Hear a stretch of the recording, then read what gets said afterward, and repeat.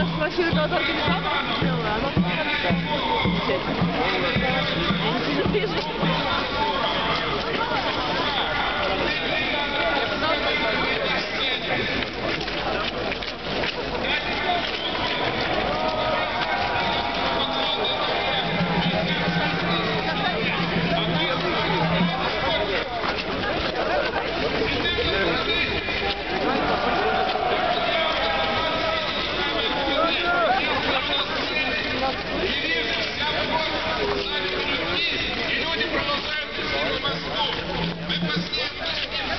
Gracias.